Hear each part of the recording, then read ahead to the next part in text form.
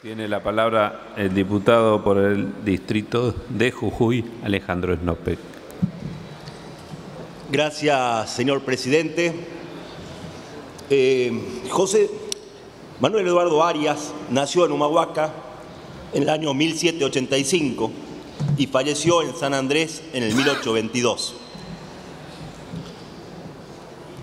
Fue un héroe de la Guerra de la Independencia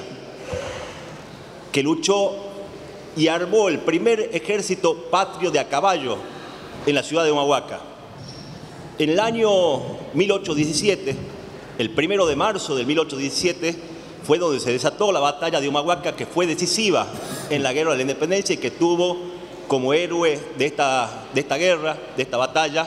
justamente al coronel Manuel Eduardo Arias. Es decir, el año que viene, el primero de marzo, los argentinos estaremos celebrando el bicentenario de esa batalla que dio vuelta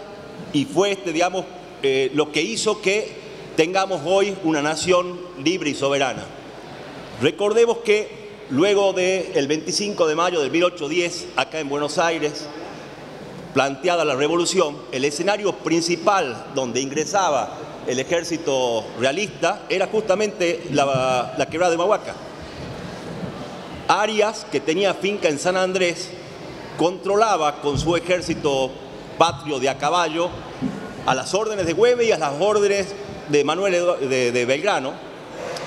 controlaba todo lo que era la región de Humahuaca hasta este, eh, Orán, provincia de Salta. Hoy, en, justamente en Salta, en lo que se llama el pueblo de San Andrés, allí hay una escuela que lleva el nombre de Manuel Eduardo Arias. Y es además un héroe reconocido por propios este, salteños, como es el caso del hoy presidente del Instituto Belgraniano de Salta, que en su biografía eh, habla respecto de Arias, poniéndolo, ponderándolo como uno de los principales héroes de la guerra de la independencia y la guerra gaucha que se llamó en, en escenario de la quebrada de Mahuaca. Hay una marcha de a caballo porque los lugares, los parajes donde combatía Aria siguen siendo, digamos, sin, sin camino, se recorre solamente a camino, un camino de mula que, une lo que es este, con Orán. Hay una marcha que hace 16 años, tras las huellas de Arias,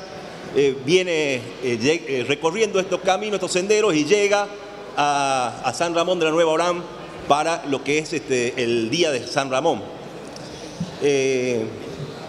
Que se quede tranquilo el diputado preopinante, los jujeños tenemos amor de sobra, no lo vamos a odiar por sus palabras, entendemos que puede haber algunas discrepancias producto de una biografía que fue escrita por José María Rosas, que este, en algunos tomos eh, contrapone esta figura de, de, Arias con respecto a Güemes, pero hay biografía, como es la de, la de Facio, que este, voy a pedir permiso, señor presidente, para insertar, que reivindica la, figura de Arias y los jujeños le solicitamos a nuestros pares, a este Congreso, que este, en este momento podamos votar esta ley reconociendo esto que sería un reconocimiento histórico como un héroe nacional a nuestro héroe jujeño